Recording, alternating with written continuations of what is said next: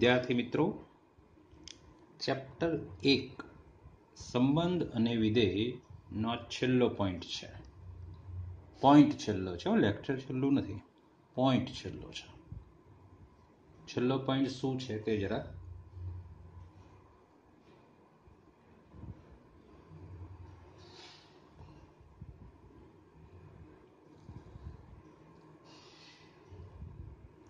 દ્વિક્રિયાઓ.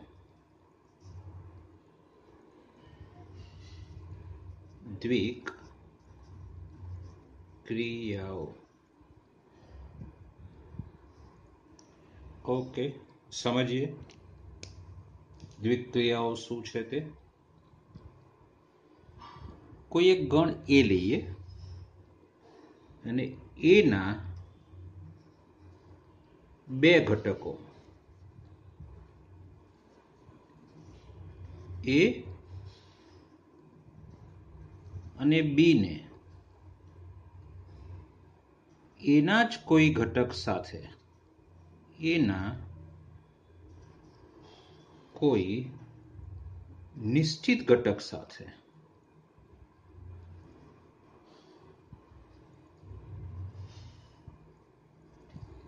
સાથે સંગત કરવાની ક્રિયા.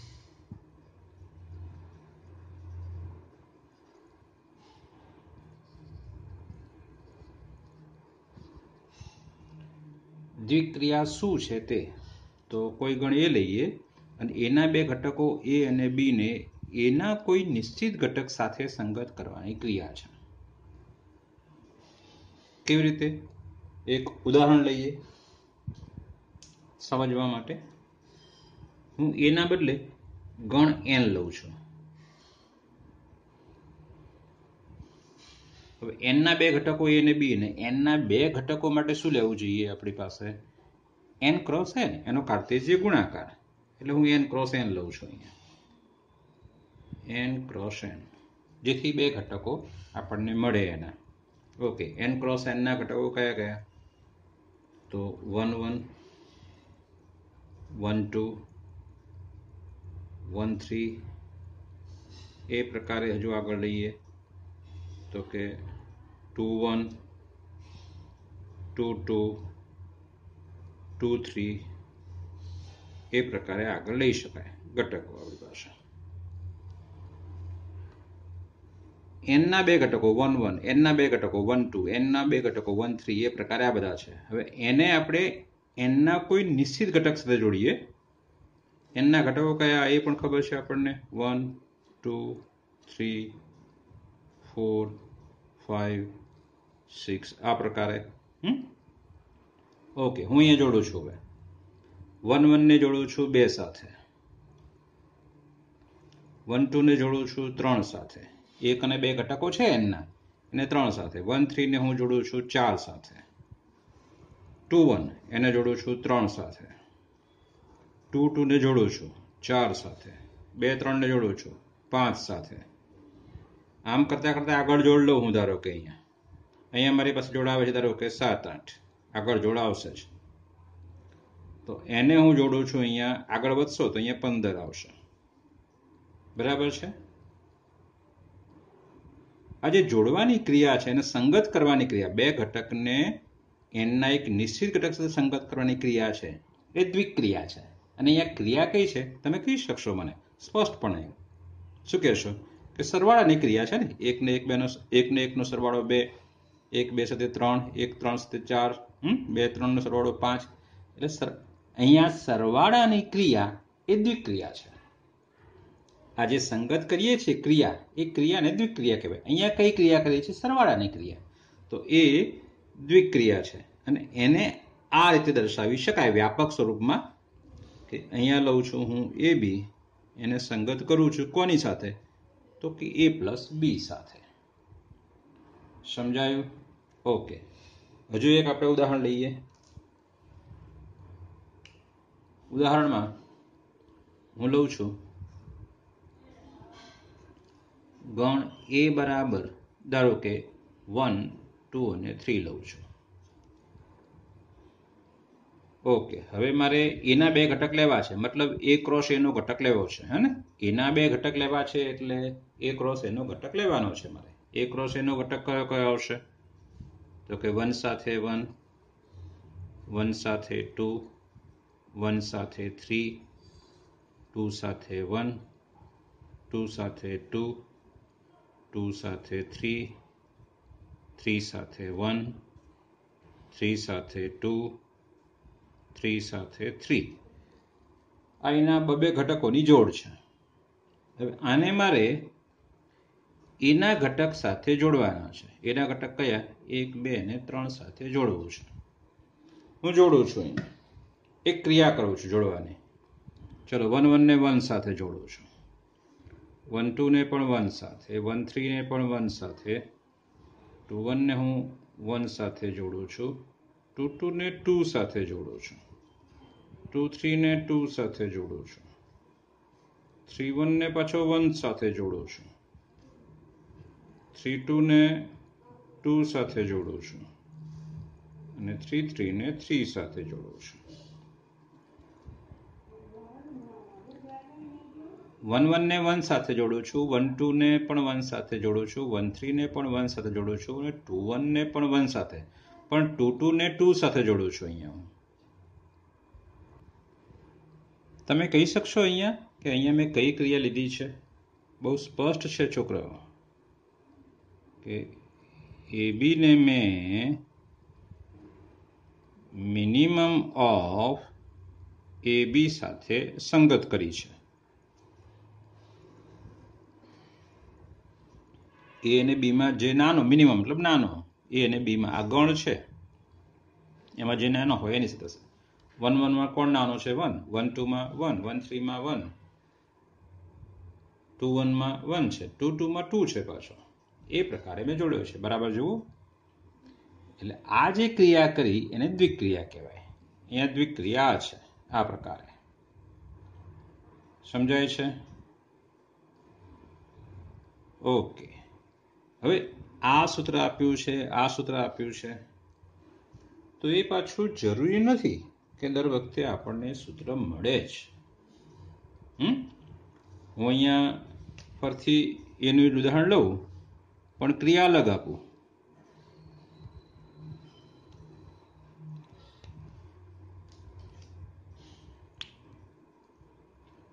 ધારો કે અહીંયા એ બરાબર વન ટુ લઉં છું. અને હવે અહીંયા એ ક્રોસ એ શોધું છું. મતલબ એના બે ઘટકોની જોડ લઉં છું.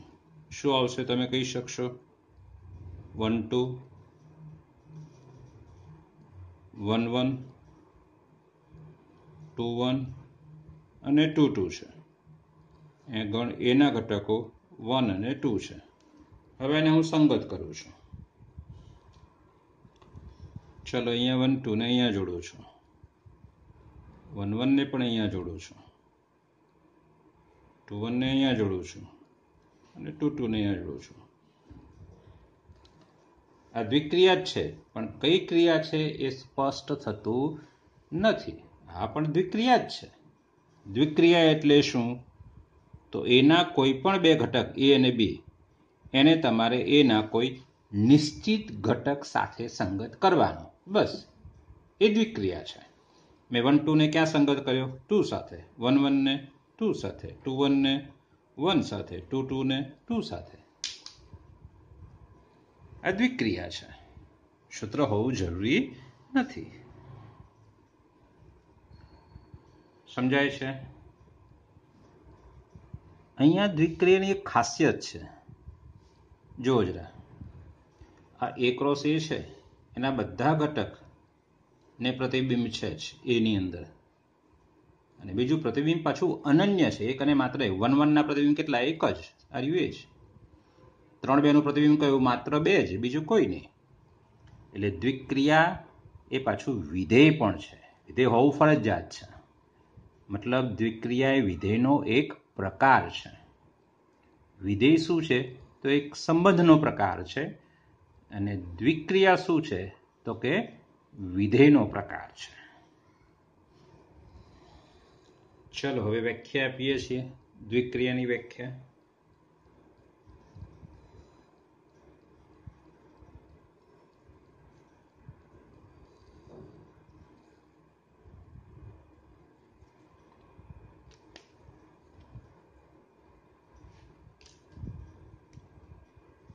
વિધેય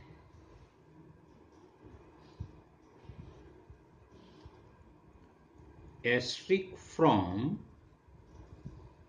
a cross a to a ને એ પરની દ્વિક ક્રિયા કહે છે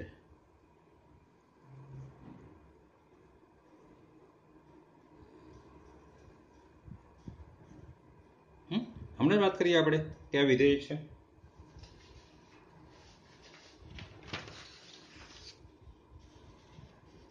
જો જે આપ્યું તે અહીંયા આ એ ક્રોસ એ થી એ પરની દ્વિક્રિયા છે. આ એ ક્રોસ એ, તો એથી એ પરની દ્વિક્રિયા, એટલે વિધેય છે. એન ક્રોસ એનથી એન પરનું વિધેય છે. એક ખાસિયત છે કે અહીં એક જ ગણની જરૂર પડે છે. ક્રિયા બનાવવા માટે એક જ ગણ એની જ જરૂર પડે છે. એક જ ગણ એનની જ જરૂર છે. એન ક્રોસ એનથી એનનું વિધેય છે આપણી પાસે. એ દ્વિક્રિયા છે. દ્વિક્રિયાનું અહીંયા નામ આપ્યું છે આપણે. શું કહ્યું છે? એસ્ટ્રિક ખુદડી. એ પ્રકારે છે. અહીંયા આપણે એસ્ટ્રિક એબી ને બદલે એ એસ્ટ્રિક બી લખીશું. આવું લખીશું. હું તમને શું કહું છું? ધારો કે વિધેય હોય આપણી પાસે. F from A cross A to A આવું એક વિધેય છે. અને પછી આપણે લખીએ છીએ ને આ રીતે કે એફ ઓફ એ બી બરાબર એ પ્લસ બી ધારો કે સરવાળાંતરિક ક્રિયા છે આપણી પાસે. તો અહીંયા એફ જે બાર લખ્યો છે એવો એસ્ટ્રિક અહીંયા બાર લખવાનો નથી આપણે. આપણે આ રીતે લખવાનું છે એ એસ્ટ્રિક બી બરાબર એ પ્લસ બી એટલે સ્પષ્ટતા થાય કે આ દ્વિક્રિયા છે. આ વિધેય છે ને આ શું છે? દ્વિક્રિયા છે. એવું છે અલગ પાડવા માટે. આપણે સંબંધને શું કહેતા? આર હમ? પણ સંબંધનો એક પ્રકાર આવ્યો, એને આપણે વિધેય એફ કહેવા લાગ્યા. અને હવે વિધેયનો એક પ્રકાર છે તો એના માટે ક્રિયા છે, એટલે આવી ક્રિયાનો સિમ્બોલ આપ્યો, એસ્ટ્રિક. તમે અલગ અલગ સિમ્બોલ આપી શકો ત્યાં. એવું જરૂર નથી કે ખુદડી જ એસ્ટ્રિક જ સિમ્બોલ આપવો. એ પ્રકારે. બરાબર છે? કેટલીક જાણીતી દ્વિક્રિયાઓ જોઈએ. જો યાદ હોય તો તમને. સરળ છે. સરવાળાની દ્વિક્રિયા છે. એ આર ક્રોસ આર થી હોય છે. યાદ કરો કોઈ પણ આમાં બે. ધારો કે આ લઈએ છીએ આપણે. આમાં હું ટુ લઉં છું. અને આમાં હું થ્રી લઉં છું. વચ્ચે કઈ ક્રિયા આપી? સરવાળાની. તો આ કોને જોડશે? પાંચ સાથે જોડશે ને? હા, શરત એ છે કે આ પાંચ આમાં હોવો જોઈએ. હા? એટલે સરવાળાની ક્રિયા એ આર પર દ્વિક ક્રિયા છે. આર પર દ્વિક્રિયા છે. એ પરની દ્વિક્રિયા છે ને, એ પ્રકારે સરવાળાની ક્રિયા એ આર પર દ્વિક્રિયા છે. બાદબાકીની ક્રિયા તો માઇનસ. એ પણ આપણને ખબર છે કે એ પણ આર પરની દ્વિક્રિયા છે. ગુણાકારની ક્રિયા તો એ પણ આર પરની દ્વિક્રિયા છે. બરાબર છે? હું આમ લખું કે ભાઈ બાદ બાકીની ક્રિયા એ એન પરની દ્વિક્રિયા છે તો આ ખોટું છે કેમ ખોટું છે બહુ સ્પષ્ટ છે કે આનો આ જે ઘટક છે ટુ ફાઈવ એ આના કોઈ પણ ઘટકને જોડશે નહીં. કારણ કે ટુ ફાઈવ એટલું શું જવાનું છે આપણે? Two minus five. બાદ બાકીની ક્રિયા છે. એટલે કયો ઘટક આવવાનો છે આપણી પાસે આ? માઇનસ ત્રણ. અને minus three does not belongs to N એટલે અહીંથી આ જોડશે નહીં. એનમાં આપણી પાસે માઇનસ ત્રણ નથી. તો પછી બાદ બાકીની ક્રિયા એ એન પરની દ્વિક્રિયા નથી. બરાબર છે? ગુણાકારની ક્રિયા એન પરની દ્વિક્રિયા છે. તો કે હા, ગુણાકારની ક્રિયા એ એન પરની દ્વિક્રિયા છે કે કોઈ પણ બે વાસ્તવિક પાંચ ગુણ્યા બે, દસ દસ એનમાં આવવાનો જ છે ને ભાઈ એટલે ગુણાકારની ક્રિયા એ એન પરની દ્વિક્રિયા છે. હા, પછી તમે આવું લખી શકો કે બાદબાકીની ક્રિયા એ ઝેડ પરની દ્વિક્રિયા છે પાછી. બાદબાકીની જે ક્રિયા છે, એ તમે ઝેડ ક્રોસ ઝેડથી ઝેડ લખી શકો. ઝેડ ક્રોસ ઝેડથી ઝેડ લખી શકો છો. એ છે જ. એ દ્વિક્રિયા છે જ. એવું આપણે કહી શકીએ. સમજાય છે? ઓકે. હવે ભાગાકારની જરા વિચારીએ. ભાગાકારમાં પાછું જરા જોવાનું છે કે ભાગાકારની ક્રિયા લખીએ આપણે. બરાબર છે? ભાગાકારની ક્રિયા એ આર પરની દ્વિક્રિયા નથી. કેમ? કારણ કે અહીંયા જે જોડ આવવાની છે, વાસ્તવિક સંખ્યાઓ બે આવવાની છે, એને આપણે એ ભાગ્યા બી સ્વરૂપમાં દર્શાવી શકીએ નહીં. કારણ શું? અહીંયા જો બીની જગ્યાએ તમે શૂન્ય લો તો એ ભાગ્યા બી કેવું છે? અવ્યાખ્યાયિત અને આર પરની દ્વિક્રિયા ભાગ અને આર પરની દ્વિક્રિયા કહી શકીએ નહીં. આ દ્વિક્રિયા નથી. પણ જો આપણે એક નવો ગણ લઈએ, ધારો કે આર સ્ટ્રીક લઉં છું. અને એના બરાબર શૂન્યતર વાસ્તવિક સંખ્યા લઉં છું. શૂન્યતર વાસ્તવિક સંખ્યાનો ગણ. તો તમે અહીંયા કહી શકો કે હવે ભાગાકારની ક્રિયા ભાગાકારની ક્રિયા એ R asterisk cross R asterisk to R asterisk પરની દ્વિક્રિયા છે. એટલે ભાગાકાર એ આર એસ્ટ્રિક પરની દ્વિક ક્રિયા છે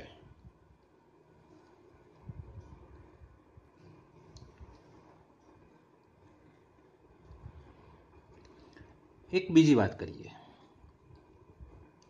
દ્વિક્રિયા વિશેની જ વાત છે આપણી પાસે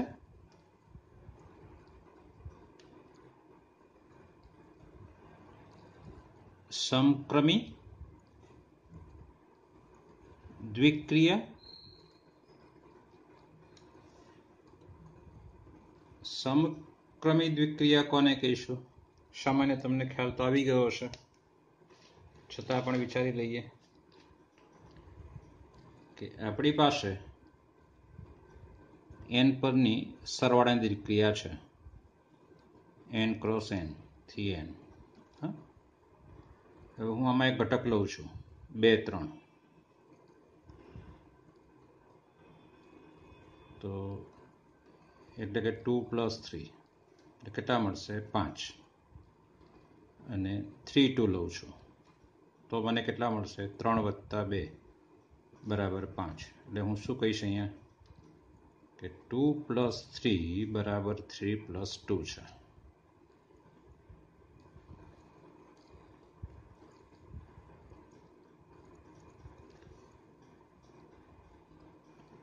આ ન લખો. અને સીધું આ લખો તો પણ ચાલે. બે વત્તા ત્રણ બરાબર પાંચ, ત્રણ વત્તા બે. આ છે, તો માટે કહી શકાય કે સરવાળાની ક્રિયા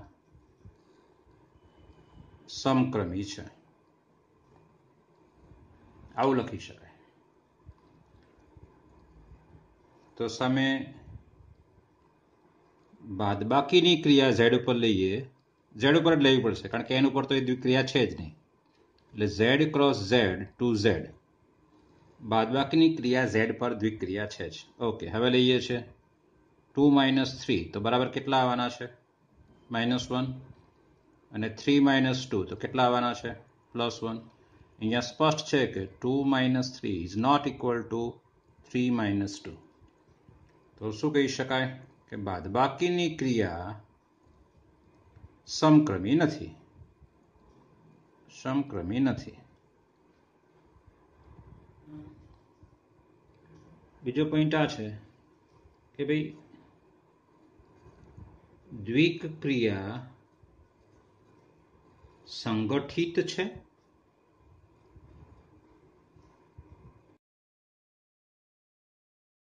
મતલબ ક્રિયા જૂથના નિયમનું પાલન કરે છે? જૂથના નિયમનું પાલન કરે છે? એ આપણે જોવાનું છે. દ્વિક્રિયા સંગઠિત છે, મતલબ દ્વિક્રિયા જૂથના નિયમનું પાલન કરે છે. જોઈએ આપણે. આપણે સરવાળની ક્રિયા લઈએ એન પર જ લઈએ. ચલો હવે એનના ત્રણ ઘટકો લઈએ. Three plus two plus one. તો અહીંયા જૂથ બનાવ્યું છે. તમને ખબર છે. તો બે ને એક ત્રણ. મતલબ કેટલા થાય છે? હવે આ બેનું જૂથ બનાવશું. Three plus two plus one. તો ત્રણ ને બે, પાંચ વત્તા એક. બરાબર છ થવાનો છે. અને જો આવું બધા માટે થાય, તો સરવાળની ક્રિયા એન પર સંગઠિત છે. એન પર જૂથના નિયમનું પાલન કરે છે. એવું કહી શકાય. બીજું એક ઉદાહરણ લઈએ. બાદબાકીનું અને એ મારે ઝેડ પર લેવું પડશે. હમ? તમને ખ્યાલ છે કેમ? ઓકે બે એમાં હું ત્રણ ઘટક લઉં છું. ઝેડના ત્રણ ઘટક લેવાના છે આપણે. જૂથના નિયમ માટે ત્રણ ઘટક જોઈએ. ક્રમના નિયમ માટે બે ઘટક જોઈએ. ચલો અહીંયા લઉં છું. ત્રણ ઓછા એક ઓછા બે. હમ? ત્રણ ઘટક વચ્ચે ક્રિયા બતાવી છે મેં. એમાં અહીંયા જૂથ બનાવ્યું છે. Three minus. ચલો, વન માઇનસ ટુ એટલે કેટલા આવશે? અહીંયા માઇનસ વન આવશે. મતલબ કેટલા થશે? ત્રણ વત્તા એક એટલે કેટલા થશે? ચાર. ઓકે જૂથ બદલીએ છીએ. ત્રણ અને એકનું જૂથ કરીએ છીએ. Three minus one, minus two. આ જૂથ અહીંયા હતું એના બદલે અહીં બનાવવાનું છે. તો બરાબર શું આવશે? તો આ જૂથ બરાબર બનશે ત્રણ માઇનસ એક એટલે બે, પાછળ માઇનસ બે છે. બરાબર શું આવશે? ઝીરો બંને સમાન નથી. એટલે કે three minus one minus two not equal to three minus one minus two એટલે માટે બાદબાકીની ક્રિયા એ ઝેડ પર સંગઠિત નથી અથવા જૂથના નિયમનું જૂથના નિયમનું પાલન કરતી નથી. બાદબાકીની ક્રિયા જૂથના નિયમનું પાલન કરતી નથી, એમ કહી શકાય. નથી કહેવા માટે એવું ઉદાહરણ આપવાનું છે, પણ છે કહેવા માટે ઉદાહરણ નથી આપવાનું. આપણે ત્યાં A B C X Y Z લઈને સાબિત કરવાનું છે. સાબિત કેવી રીતે કરીશું? એ આપણે જોઈશું આગળ દાખલામાં. અત્યારે હાલ પહેલાં આપણે બંને વ્યાખ્યા લઈએ. કઈ વ્યાખ્યાઓ? તો સમક્રમીની અને જૂથના નિયમનું પાલન કરે છે. કેમ? એ બંને વ્યાખ્યાઓ આપણે લઈ લઈએ. ચલો, પહેલા વ્યાખ્યા આપું છું આ રહીએ સમક્રમીની. જો for every A B C belongs to A માટે એ ક્રોસ બી બરાબર B cross A sorry A asterisk B બરાબર બી એસ્ટ્રિક એ તો એસ્ટ્રિક મતલબ આ દ્વિક્રિયા, સમક્રમી છે. એવું કહેવાય. અને જો for every A B C belongs to A માટે A asterisk B asterisk C બરાબર A asterisk B asterisk C તો એસ્ટ્રિક જૂથના નિયમનું જૂથના નિયમનું પાલન કરે છે. એમ કહેવાય એમ કહેવાય.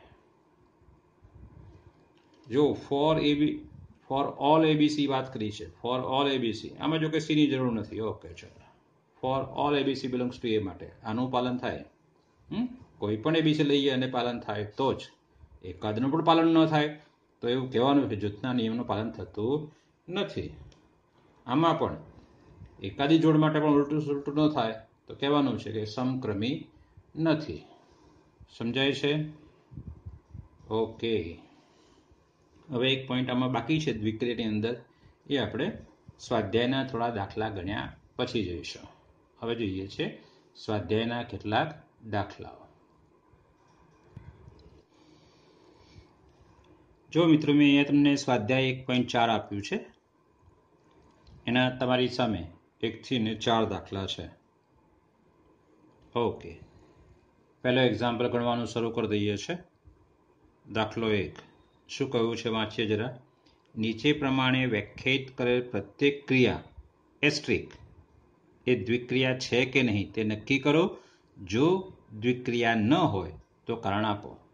યાદ કરો જરા, દ્વિક્રિયા ક્યારે કહેવાની છે? અહીંયા કહ્યું છે કે એસ્ટ્રિક ઝેડ પ્લસ પર આના વડે વ્યાખ્યાયિત છે તો એ દ્વિક્રિયા છે કે કેમ? મતલબ ઝેડ પ્લસ પર જે છે, પહેલાંનો પહેલો લઈએ છે તો અહીં લખું છું. એસ્ટ્રિક. ક્યાંથી ક્યાં છે? તો ઝેડ પ્લસ ક્રોસ, ઝેડ પ્લસથી ઝેડ પ્લસ આવશે ને? અને વ્યાખ્યાયિત કેવી રીતે કર્યું છે?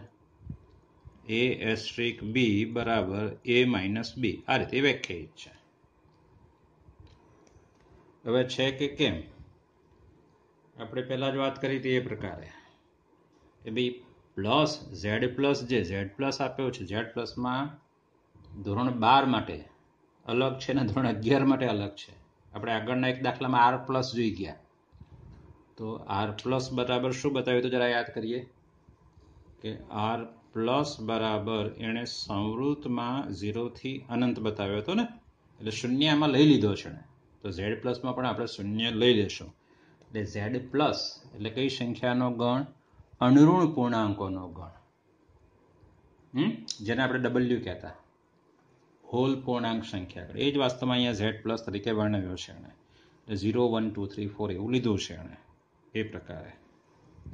ઋણ પૂર્ણાંક આમાં નથી. પણ બાદબાકીમાં તો ઋણ પૂર્ણાંક આવશે ને? તો આપણો જવાબ શું છે? ના. તો અહીંયા કારણ આપીશું. લખીશું. અહીં ટુ અને three belongs to Z plus. પરંતુ ટુ માઇનસ થ્રી એટલે કે, હું અહીંયા લખું છું ટુ એસ્ટ્રિક થ્રી. બરાબર, ટુ માઇનસ થ્રી એટલે કેટલા આવશે? Minus one. A does not belongs to Z plus. માટે લખીશું કે એસ્ટ્રિક એ ઝેડ પ્લસ પર દ્વિક ક્રિયા નથી. દ્વિક ક્રિયા નથી. સમજાય છે? ઓકે.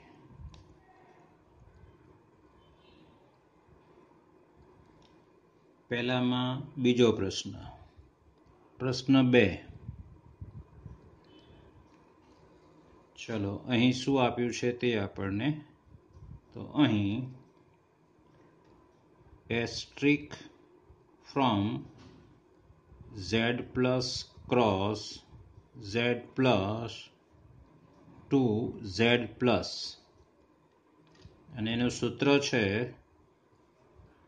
એ એસ્ટ્રિક બી બરાબર એ બી એ એસ્ટ્રિક બી બરાબર એ બી આપણને આપેલું છે. ઓકે, બતાવીએ છીએ આપણે.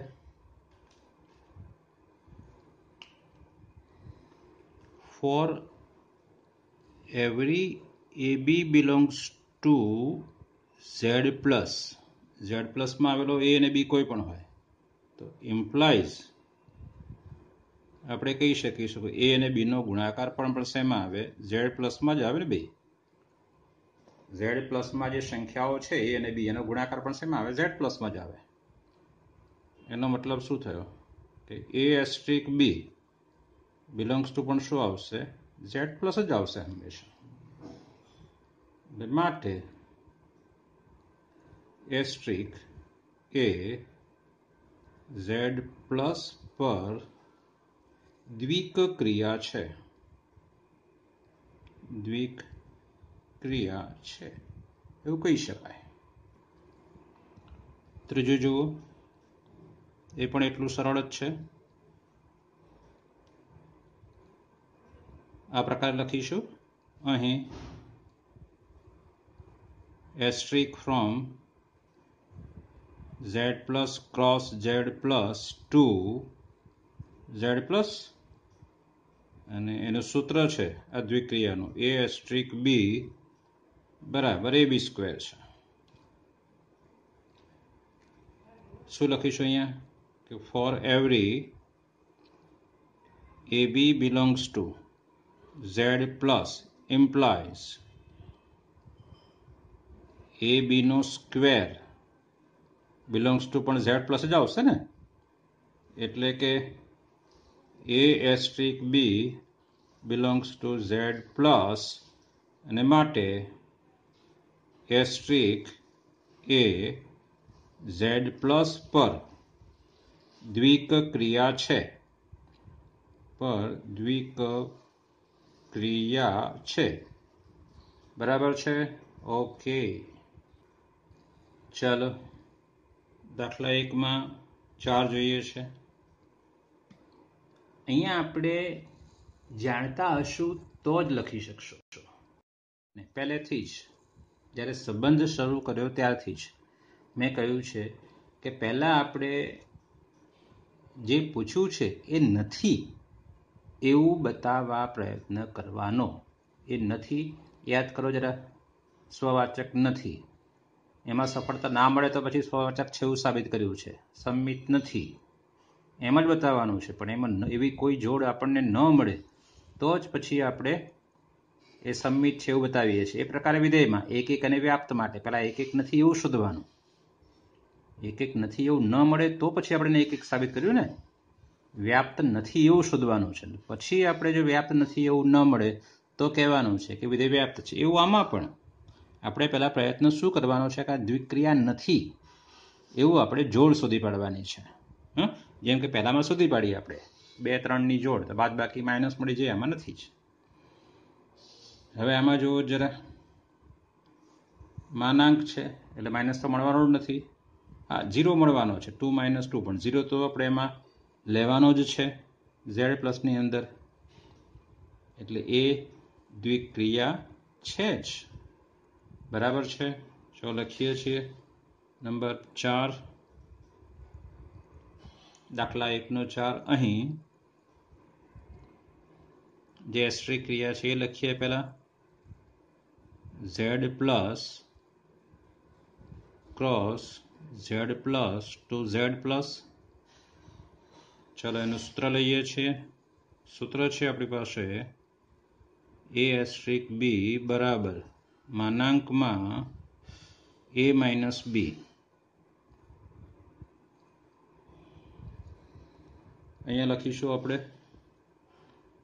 For every A B belongs to. Z plus implies માનાંકમાં A minus B. શું આવશે?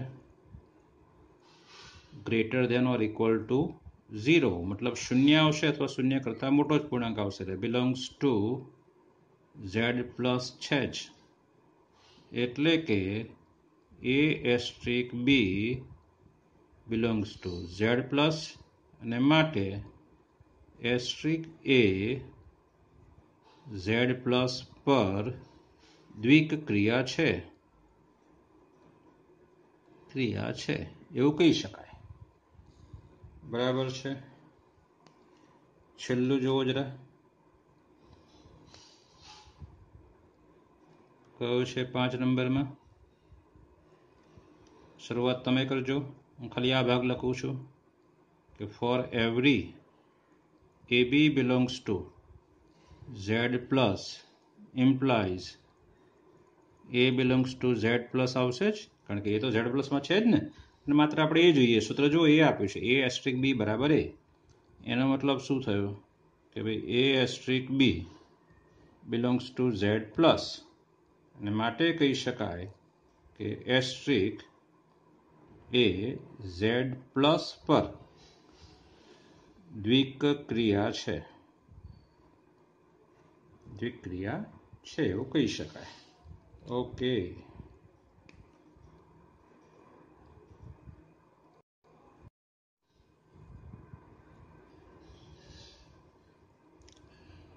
ચાલો મિત્રો, દાખલો બે લઈએ છે.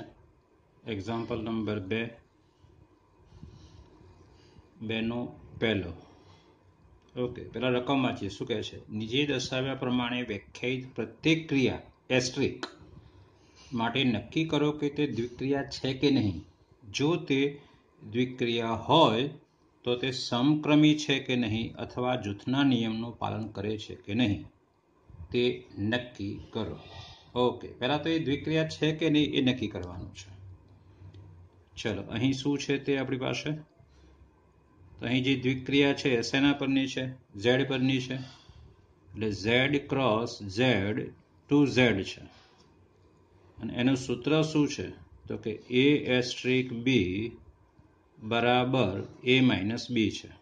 હવે જરા વિચારવાનું આપણે કે એ માઇનસ બી ઝેડમાં જ આવશે ને? તો for every A B belongs to Z implies તમે શું કહી શકો? કે minus B belongs to Z અને implies A asterisk B belongs to Z એટલે માટે એસ્ટ્રિક એ ઝેડ પર દ્વિક ક્રિયા છે. હમ? ઓકે, હવે એ સમક્રમી છે કે કેમ? એ જૂથના નિયમનું પાલન કરે છે કેમ? એ આપણે જોવાનું રહ્યું. સારું, ચાલો. સમક્રમી માટે. હવે એ માઇનસ બી છે, તો યાદ કરો જરા, એ માઇનસ બી ને બી માઇનસ એ બંને સરખું થવાનું નથી. પણ નથી માટે તમારે એક ઉદાહરણ આપવાનું. ચલો ઉદાહરણ આપીએ છીએ અહીં ટુ એસ્ટ્રિક થ્રી. બરાબર શું? તો કે ટુ માઇનસ થ્રી. બરાબર માઇનસ વન. અને થ્રી એસ્ટ્રિક ટુ બરાબર થ્રી માઇનસ ટુ એટલે બરાબર વન એટલે માટે two asterisk three not equal to three asterisk two અને માટે આ જે દ્વિક્રિયા છે એસ્ટ્રિક એ સમક્રમી નથી. સમક્રમી નથી. સમજાઈ ગયું આમાં? ઓકે. હવે એક ઉદાહરણ આપણે જૂથના નિયમનું આપી દેવાનું. ચલો આપીએ છીએ જૂથના નિયમ માટે. અહીં ઝેડમાં હોય એવા ઘટક લેવાના ત્રણ આપણે લઉં છું. Three asterisk. One asterisk two. ચલો બરાબર. પહેલાં કૌંસ બનાવવાનો. એટલે three asterisk one asterisk two એટલે શું? વન માઇનસ ટુ અને શું આવશે ત્યાં? માઇનસ વન હે ને? વન એસ્ટ્રિક ટુ એટલે આપણે આ લેવાનો symbol one A minus B અને બરાબર શું આવશે અહીંયા? તો ફરતી અહીંયા સૂત્ર આરવી લેવાનું છે આપણે એ માઇનસ બી વાળું. એટલે ત્રણ માઇનસ માઇનસ વન એટલે કેટલા આવશે? ચાર. બરાબર છે? હવે આ જૂથ બદલવાનું. અહીંયા જૂથ બનાવવાનું છે. મતલબ આ રીતે. કે three asterisk one asterisk two બરાબર. તો થ્રી એસ્ટ્રિક વન કેટલા આવશે? ટુ આ રીતે બનશે. થ્રી એસ્ટ્રિક વન કારણ થ્રી એસ્ટ્રિક વન બરાબર શું? ત્રણ માઇનસ બે. સોરી ત્રણ માઇનસ એક. એટલે કેટલા? બે આવશે ને? એટલે ટુ એસ્ટ્રિક ટુ બરાબર કેટલા? તો કે ટુ માઇનસ ટુ, એટલે શું થશે? ઝીરો. એ માટે શું થયું અહીંયા? તો કે three asterisk, one asterisk two, not equal to, three asterisk one, asterisk two. મતલબ શું થયો? કે આ જે દ્વિક્રિયા છે, એ જૂથના નિયમનો, જૂથના નિયમનું પાલન કરતી નથી. આ દ્વિક્રિયા જૂથના નિયમનું પાલન કરતી નથી. આપણે આ બતાવવાનું છે. સમજાઈ ગયું? ઓકે.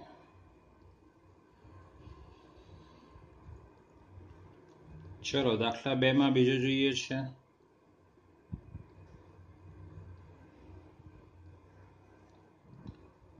ક્યુ પરની ક્રિયા છે એટલે કે અહીં asterisk from Q cross Q to Q આવશે. ક્યુ પરની દ્વિક્રિયા છે. એનું સૂત્ર શું છે? તો કે એ એસ્ટ્રિક બી બરાબર એ બી પ્લસ વન ચલો, પહેલાં બતાવીશું કે આ દ્વિક્રિયા છે. Every A B belongs to Q implies તમે લખી શકો કે A B belongs to Q હે ને? બેનો ગુણા એ અને બી બંને ક્યુમાં હોય તો એનો ગુણાકાર પણ ક્યુમાં આવે. એટલે કે એ બી પ્લસ વન પણ બિલોંગ્સ ટુ ક્યુ એટલે ક્યુ એટલે શું? સમય સંખ્યાઓનો ગણ. એટલે કે તમે કહી શકો કે A asterisk B belongs to Q એટલે માટે આ જે છે, એ દ્વિક ક્રિયા છે.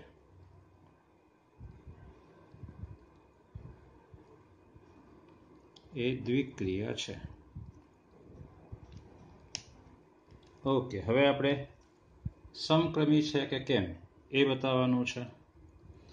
તો હવે જોઈ શકાય કે સમક્રમી છે કે કેવું અહીંથી સ્પષ્ટ થાય કે ભાઈ એ અને બીનું સ્થાન બદલો, તો એનું મૂલ્ય બદલાશે. એ બી લખો કે બી એ બંને વચ્ચે ગુણાકાર જ છે ને, એટલે એનું એ જ મૂલ્ય રહેવાનું છે. મતલબ એ થયો કે આપેલ દ્વિક્રિયા સમક્રમી છે. હવે બતાવીએ છીએ કેવી રીતે એ મહત્વનું છે. જોવો જરા. A asterisk for every A B belongs to Q આપણે એ એસ્ટ્રિક બીથી શરૂ કરવાનું. એ એસ્ટ્રિક બી એટલે શું? એ બી પ્લસ વન એટલે કે બી એ પ્લસ વન લખી શકાય એ બીનો ગુણાકાર આ લખી શકાય. એટલે કે બી એસ્ટ્રિક એ થવાનો છે. એટલે માટે એસ્ટ્રિક સમક્રમી છે. આ દ્વિક્રિયા સમક્રમી છે, એવું કહી શકાય. જૂથના નિયમ માટે શાંતિથી પહેલા વિચારવાનું છે. અને પછી જૂથનો નિયમ આપણે સાબિત કરવાનો છે. જૂથના નિયમનું પાલન નહીં થાય, વિદ્યાર્થી મિત્રો. થોડુંક પહેલાં રફકામ કરી લેવાનું. હમ? અને આપણે આ ત્રણ સંખ્યાઓ લેવાની. ત્રણ, એક અને બે આ ક્રમમાં લેવાનું. Three asterisk, one asterisk, two લેવાનું. Three asterisk one asterisk two લેવાનો. ઓકે પહેલાં આ બે વચ્ચે ક્રિયા કરવાની, એટલે ત્રણ એમને રહેવા દેવાનો. આ બે વચ્ચે ક્રિયા સૂત્ર શું છે? એ બી પ્લસ વન એટલે કે એક ગુણ્યા બે બે વત્તા એક. બે એક બે થાય ને અહીંયા? એ બી એટલે. બરાબર થ્રી એસ્ટ્રિક બે ને એક ત્રણ થયો. હવે અહીંયા ત્રણ કૌંસમાં ત્રણ, એટલે નવ વત્તા એક થશે, ત્રણ એ બી વત્તા એક, એટલે આ બેનો ગુણાકાર વત્તા એક. ત્રણ તરી નવ વત્તા એક, એટલે કેટલા થયા? દસ. ઓકે હવે જૂથ બદલીએ છે. જૂથ અહીંયા three asterisk one asterisk two લઈએ છે. આ જૂથ અહીંયા કરીએ છીએ આપણે. તો બરાબર શું થશે તે અહીંયા લખીએ. કે થ્રી એસ્ટ્રિક વન એટલે શું? તો આ બેનો ગુણાકાર. એ અને બીનો ગુણાકાર વત્તા વન છે. એ અને બીનો ગુણાકાર વધે ત્રણ એકુ ત્રણ વત્તા એક. એસ્ટ્રિક ટુ એટલે ત્રણ અને એકનો સરવાળો ચાર એસ્ટ્રિક ટુ પછી શું આવશે? ફોર એસ્ટ્રિક ટુ એટલે સૂત્ર શું છે આપણું આ રહ્યું ચાર દુને આઠ વત્તા એક એટલે કેટલા આવે? નવ. જોઈ શકાય છે નવ છે ના દસ છે, સમાન નથી. માટે શું કહી શકશો? આપેલ દ્વિક્રિયા સંગઠિત નથી અથવા જૂથના નિયમનું પાલન કરતી નથી. તો આ ઉદાહરણ આપણે અહીંયા લખવાનું છે. પહેલાં રફકામ કરી જોવાનું. એટલે ખ્યાલ આવે આપણને. ચાલો. લખીએ છીએ અહીંયા. Three asterisk one asterisk two બરાબર. Three asterisk one asterisk two એટલે ટુ પ્લસ વન થશે. કેવી રીતે? એ બી વત્તા વન છે. સૂત્ર છે ને આપણું આવ્યું એ પ્રકારે. એટલે બરાબર થ્રી એસ્ટ્રિક બે ને એક, ત્રણ. એટલે શું થાય? ત્રણ તારી નવ વત્તા એક. એટલે કેટલા આવશે? દસ. ચલો આ જૂથ બદલીએ છીએ અહીંયા. જૂથમાં ફેરફાર કરીએ છીએ. Three asterisk one, asterisk two લઈએ છીએ તો બરાબર શું થશે? તો પહેલાં થ્રી એસ્ટ્રિક વન એટલે ત્રણ વત્તા એક અને પછી એસ્ટ્રિક ટુ. આ કેવી રીતે લાવ્યા તો આ સૂત્ર એ બી વત્તા વન, એ અને બી છે આ બે. એ બરાબર ત્રણ ને બી બરાબર વન. ત્રણ એકુ ત્રણ વત્તા એક એ પ્રકારે. એટલે અહીંયા કેટલા આવશે? Four asterisk two. એટલે કેટલા આવશે? આઠ વત્તા એક. એ બી વત્તા એક, એટલે કેટલા આવશે? નવ. એટલે માટે શું થયું અહીંયા જરા? એટલે માટે three asterisk one asterisk two not equal to three asterisk one asterisk two એટલે માટે શું કહી શકાય? એસ્ટ્રિક જૂથના નિયમનું પાલન કરતું નથી. સમજાઈ ગયું? ઓકે ચલો હવે ત્રીજા નંબરનો દાખલો જોઈએ. ક્યુ પર વ્યાખ્યાયિત એ એસ્ટ્રિક બી બરાબર એ બી ભાગ્યા બે. ક્યુ પરની દ્વિક્રિયા છે એટલે માટે અહીં asterisk from Q cross Q to Q અને એનું સૂત્ર શું છે તે? તો કે એ એસ્ટ્રિક એ એસ્ટ્રિક બી બરાબર. એ બી ભાગ્યા બે. ચાલો, દ્વિક્રિયા છે કે કેમ? એ જોવા માટે શું કરવાનું છે આપણે? તો for every A B belongs to Q, implies. A ને બી બંને સમય સંખ્યા હોય તો એ ગુણ્યા બી પણ શું આવે? સમય સંખ્યા જ આવે. અને ઇમ્પ્લાઇઝ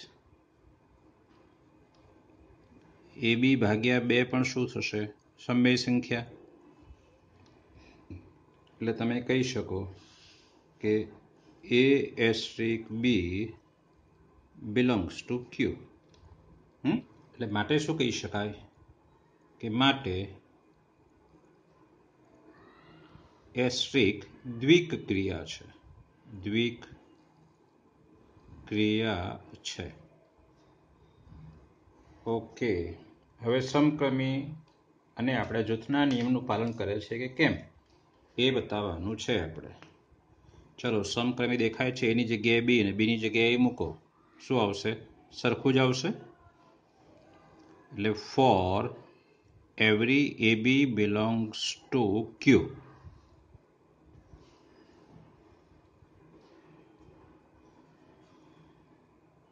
A asterisk B બરાબર શું થાય? એ બી ભાગ્યા બે બરાબર શું થશે? બી એ ભાગ્યા બે એ ગુણ્યા બી લખો કે બી ગુણ્યા એ લખો, કશો ફેર નથી પડતો. એટલે બરાબર શું લખી શકાય? બી એસ્ટ્રિક એ એટલે માટે શું કહી શકાશે કે એસ્ટ્રિક સમક્રમી છે.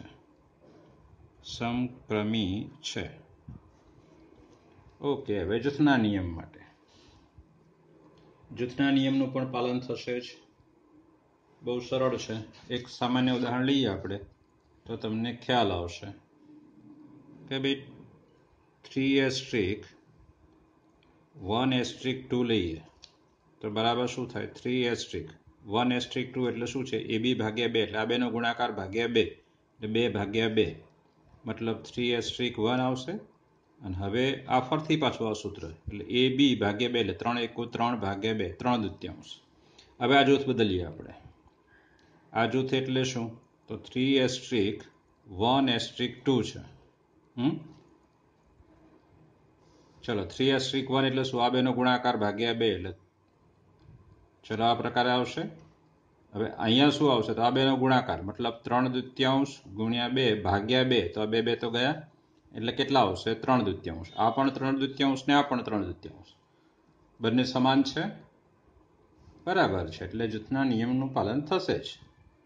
તો આપણે એ રીતે અહીંયા આ ઉદાહરણ છે સોરી આ તો છે એવું કહેવા માટે ઉદાહરણ નથી આપવાનું. એના માટે તો આપણે એબીસી લેવાનો છે. ઓકે એબીસી લઈએ છીએ. ચલો જરા.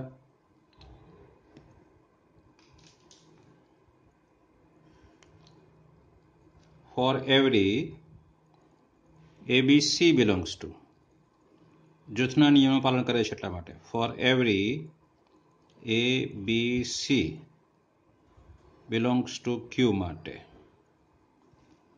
શું લઈશું આપણે? A asterisk B asterisk C is equal to એનો એ રાખવાનો છે એસ્ટ્રિક બી એસ્ટ્રિક સી એટલે આ સૂત્ર પ્રમાણે શું આવે? બી ગુણ્યા સી ભાગ્યા બે એટલે બી સી બાય ટુ ચાલો ઇઝ ઇક્વલ ટુ શું આવશે હવે આ બેનો ગુણાકાર ભાગ્યા બે. એટલે ઇક્વલ ટુ એ ગુણ્યા બીસી ભાગ્યા બે. આ બેનો ગુણાકાર ભાગ્યા બે. પણ આ બે તો છેદમાં આવશે. એટલે બરાબર એ બીસી ભાગ્યા કેટલા થશે? ચાર. મતલબ શું? એ કૌંસમાં બીસી એટલે શું થાય? એબીસી જ થાય ને ભાઈ? જરા યાદ કરો. એટલે A B C by four છે. ઓકે, હવે આ જૂથ અહીંયા જે પાડ્યું છે ને એટલે અહીંયા જૂથ બનાવીએ. મતલબ આ રીતે. A asterisk B asterisk C બરાબર. હવે એ એસ્ટ્રિક બી એટલે શું આવશે? સૂત્ર આપણું? એ બી બાય ટુ અને એસ્ટ્રિક અહીંયા સી છે.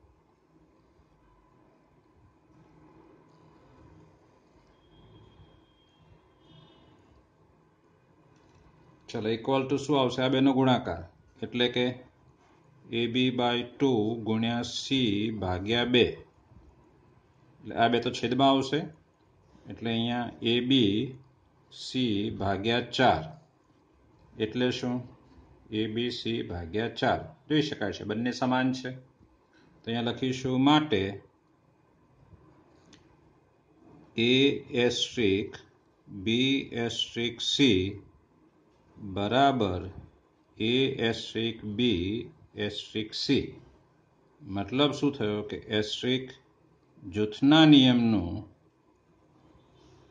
જૂથના નિયમનું પાલન કરે છે. બરાબર છે? ઓકે ચલો આગળ જોઈએ છે દાખલો ચાર. ઝેડ પ્લસ પર આ વ્યાખ્યાયિત છે આપણી પાસે ચલો દ્વિક્રિયા લખતો નથી, સીધું લખ, જવાબ જ લખું છું. For every A B belongs to Z plus implies A B belongs to Z plus જ આવશે. આ બંને ઝેડ પ્લસમાં હોય, તેનો ગુણાકાર પણ ઝેડ પ્લસમાં આવે ને therefore two raise to A B એ પણ બિલોંગ્સ ટુ શેમાં આવશે? ઝેડ પ્લસમાં જ આવશે. તો બેની ત્રણ ઘાત બેની ચાર ઘાત બેની ઝીરો ઘાત કોઈ પણ હોય. શેમાં આવશે? ઝેડ પ્લસમાં જ આવશે. એટલે કે A asterisk B belongs to Z plus એનો મતલબ શું થયો? કે માટે એસ્ટ્રિક એ દ્વિક ક્રિયા છે. દ્વિક ક્રિયા છે. ઓકે, હવે સમક્રમી છે કે કેમ? તો સ્પષ્ટ દેખાય છે કે સમક્રમી છે કેમ? ખબર શું પડે? કે ભાઈ એ કે બીનું સ્થાન બદલો, તો એનું મૂલ્ય બદલાશે નહીં, તો એ જ રહેવાનું છે. તો for every, A B belongs to Z plus. A asterisk B, બરાબર શું થાય? Two raise to A B? એટલે કે two raise to B A. અહીંયા એ ગુણ્યા બી લખો કે બી ગુણ્યા એ લખો. કશો ફેર પડવાનો નથી. એટલે શું થશે? બી એસટ્રી કે એટલે માટે એસ્ટ્રીક સમક્રમી છે. રફકામ લઈએ છીએ પહેલાં. સૂત્ર આ રહ્યું. શું લેવાનું three asterisk one asterisk two. બરાબર. Three asterisk. Two raise to. આ બેનો ગુણાકાર. ટુ. એટલે કે થ્રી એસ્ટ્રિક ફોર બેનો વર્ગ ચાર થાય ને? બરાબર છે. હવે શું ટુ રેસ ટુ ચાર તરીને બાર લેવાનું. આ સૂત્ર two raise to A B વાળું. ચલો જૂથ બદલીએ છે. શું આવશે તે? તો પહેલાં આ લેવાનું. તો ટુ રેસ ટુ બેના ઘાતમાં એ અને બીનો ગુણાકાર લખવાનો. એટલે ત્રણ. આ તો એનું એ જ. બેનો ઘન કેટલો થશે? આઠ. હવે અહીંયા શું કરવાનું? ટુ રેસ ટુ એ અને ગુણાકાર સોળ. જોઈ શકાય છે, બંને સમાન નથી. મતલબ સંગઠિત નથી, એટલે જૂથના નિયમનું પાલન થશે નહીં. તો હવે આપણે એ લખવાનું છે, જૂથના નિયમનું પાલન થતું નથી તે. તો અહીં three asterisk one asterisk two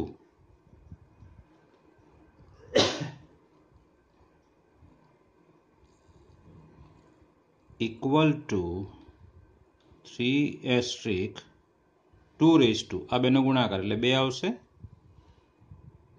એટલે કે થ્રી એસ્ટ્રીક ફોર એટલે શું આવશે? તો ટુ રેસ ટુ આ બેનો ગુણાકાર, એટલે ચાર તરીને બાર આવશે. ઓકે હવે જૂથ બદલીએ છીએ.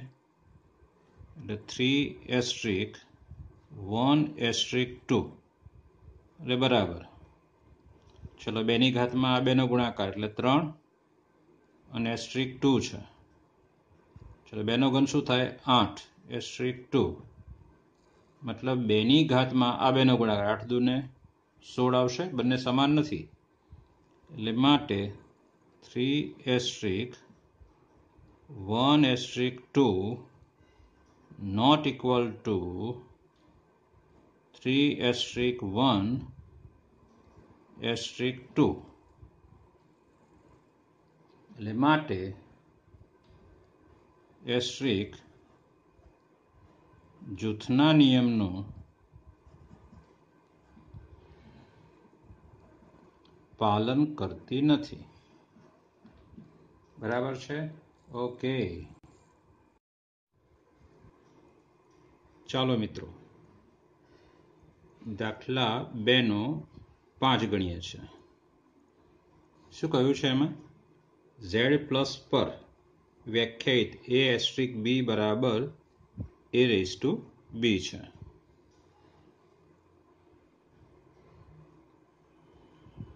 અહીં જે દ્વિક્રિયા છે એ લખીએ આપણે. Asterisk from Z plus cross Z plus to Z plus આવશે. અને એનું સૂત્ર શું છે? તો એ એસ્ટ્રિક બી બરાબર, એ રેસ ટુ બી છે. ચલો આપણે બતાવીએ છીએ for every a b belongs to Z plus. Z plus મતલબ અંડરરૂડ પૂર્ણાંક. શૂન્ય, એક, બે, ત્રણ, ચાર, પાંચ. હવે એ બંને, મતલબ એ અને બી ઝેડ પ્લસમાં હોય તો પછી એની બી ઘાત પણ શેમાં હોવાની? ઝેડ પ્લસમાં જ હોય ને, અહીંયા ઝીરોની કોઈ પણ ઘાત તો ઝીરો થશે, અથવા એની ઝીરો ઘાત તો વન થશે. ને બીજી એની જગ્યાએ ઝેડ પ્લસનો ઘટક હશે બીની જગ્યાએ ઝેડ પ્લસનો ઘટક હશે, તો પછી a belongs to Z plus જ થવાનો છે. બરાબર છે. એટલે કે a asterisk b belongs to Z plus મતલબ એ થયો કે એસ્ટ્રિક આ જે ક્રિયા આપી છે તે એ દ્વિક ક્રિયા છે. દ્વિક ક્રિયા છે. ઓકે, એક પોઈન્ટ પૂરો થયો દ્વિક ક્રિયાનો. હવે આપણે એને સમક્રમી બતાવવાની છે. બતાવીએ છીએ જો જરા એ રેસ ટુ બી અને બી રેસ ટુ એ અને બીનું સ્થાન બદલો, તો બંનેનો જવાબ સરખો આવે. ના, તમને ખ્યાલ આવે જ છે. તો ના કેવું છે તે ઉદાહરણ આપવાનું. ચલો ઉદાહરણ આપીએ છીએ. અહીં બે અને ત્રણ. બંને શેમાં છે? ઝેડ પ્લસમાં. વળી ટુ એસ્ટ્રિક થ્રી. એટલે કે બેની ત્રણ ઘાત. એટલે કેટલા આવશે? આઠ. અને થ્રી એસ્ટ્રિક ટુ. બરાબર કેટલા આવશે? ત્રણની બે ઘાત. એટલે કેટલા આવશે? નવ. જોઈ શકાય છે કે બંને સમાન નથી. એટલે કે two asterisk three not equal to three asterisk two. મતલબ શું થયું? કે એસ્ટ્રિક સમક્રમી નથી.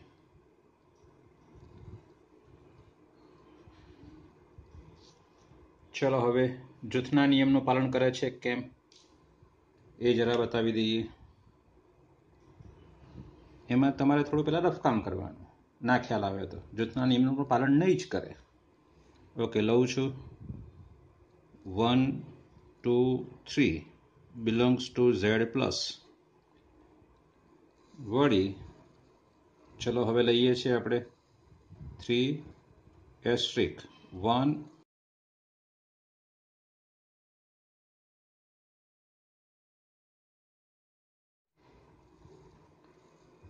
is equal to three asterisk એકની બે ઘાત આવશે. મતલબ સૂત્ર આપણું એ રેસ ટુ બી છે ને અહીંયા. એટલે થ્રી એસ્ટ્રિક વન આવશે. અને થ્રી એસ્ટ્રિક વન એટલે કેટલા? ત્રણની એક ઘાત એટલે કેટલા થશે? ત્રણ. ચલો હવે જૂથ બદલીએ છીએ અહીંયા જૂથ બનાવીએ છે આ બેન. તો ત્યાં જૂથ બનતા three asterisk one, asterisk two છે. ઇઝ ઇક્વલ ટુ ચલો પહેલાં આની ક્રિયા કરીએ. તો શું આવશે ત્યાં? ત્રણની એક ઘાત એસ્ટ્રિક ટુ. એટલે શું? Three asterisk two. એટલે ત્રણની બે ઘાત. એટલે કે નવ. જોઈ શકાય છે. બંને સમાન નથી જ.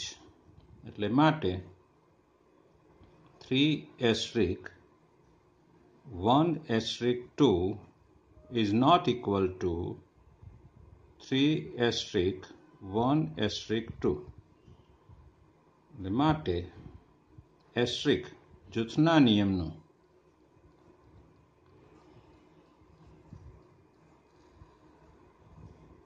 પાલન કરતું નથી. જૂથના નિયમનું પાલન કરતી નથી. આ જે ક્રિયા છે એ જૂથના નિયમનું પાલન કરતી નથી. એક્ઝામ્પલ બેનો છ ગણીએ છીએ.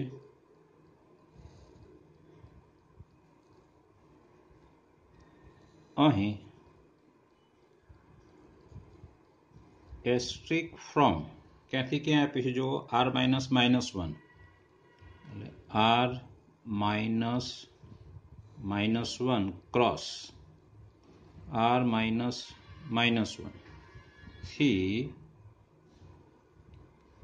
આર માઇનસ માઇનસ વન છે.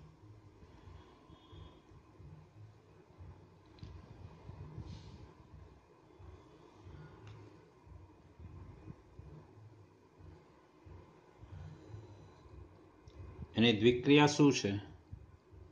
તો કે એ એસ્ટ્રિક બી બરાબર એના છેદમાં બી પ્લસ વન છે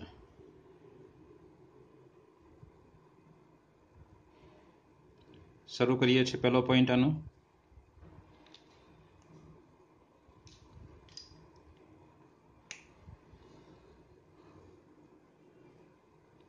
for every AB belongs to R minus minus 1.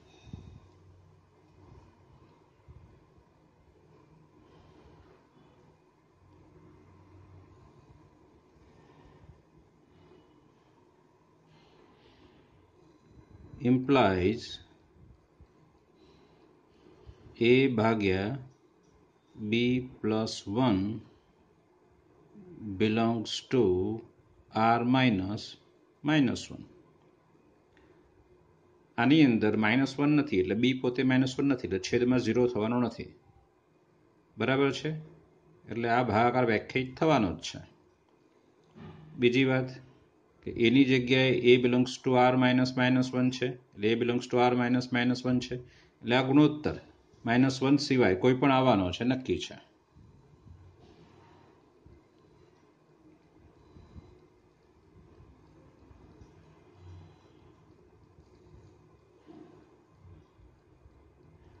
Implies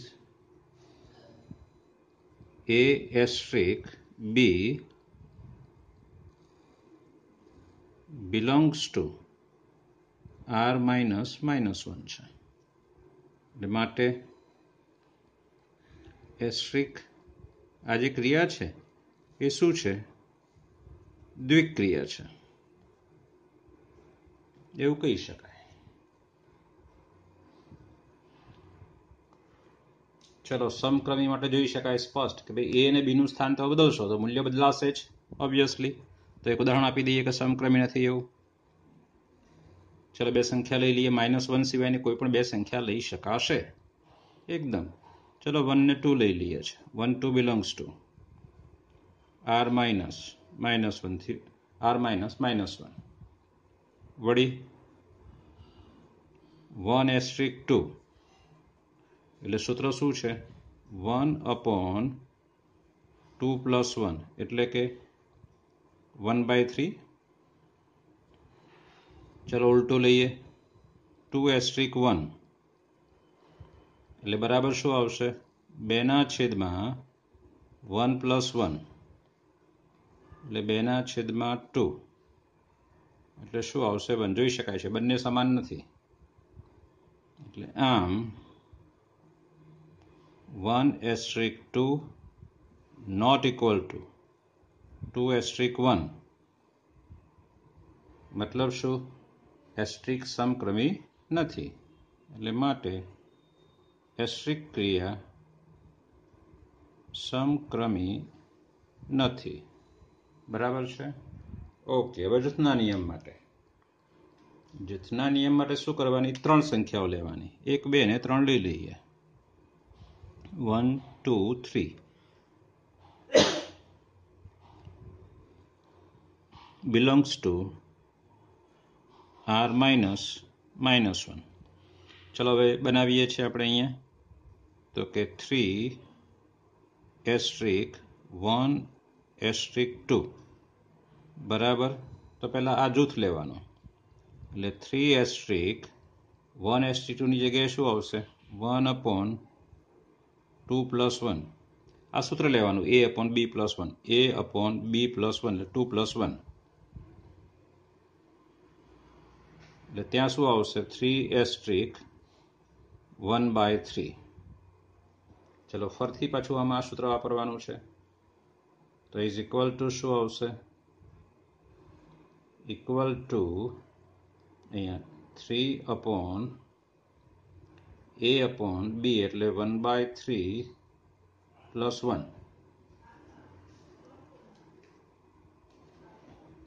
ચલો ઇક્વલ ટુ શું આવશે? ઉપર નીચે ત્રણ અંશ અને છેદમાં ત્રણ વડે ગુણું છું, તો નવ. અને અહીંયા ત્રણ વડે ગુણું તો વન પ્લસ થ્રી. એટલે કેટલા આવશે? Nine by four. Is equal to nine by four.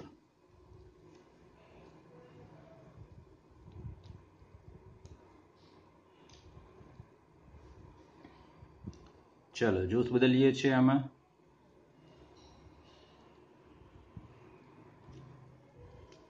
જૂથ બદલવામાં આ બેનું જૂથ બનાવીએ છીએ.